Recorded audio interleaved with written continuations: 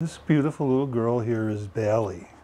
Bali is a two-year-old cattle dog mix, and she's really a sweet girl. Um, she gets along with humans really good.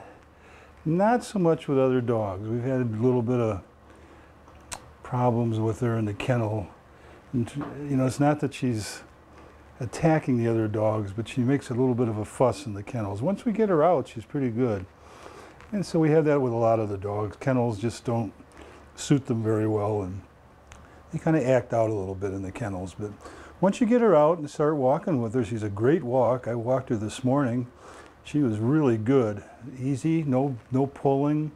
Goes out, does her business, and um, kind of checks out things, but you know, isn't one of those that has to smell every bush to make sure no one else has been there or anything like that. So all in all, she's just a real easy walk and very, very friendly toward people and uh, just a real good girl.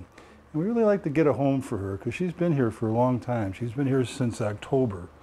And she's been kind of bounced around a little bit. And um, we had another shelter that was going to come and take her and try her over there, and they didn't do that. And so she's one of those that we'd really like to see find a new home. She's been here too long, which is part of the problem in the kennel behavior kind of things is they get a little bit stir crazy like we all do if we can't get outside and enjoy life a little bit. So anyway, that's my girl Bali. She's a two-year-old cattle dog mix, loves humans, a little bit guarded around other dogs.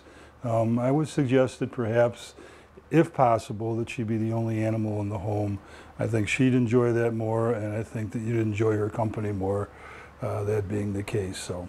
Again, Bali, two-year-old cattle dog mix, a very, very good girl. Yes, she is.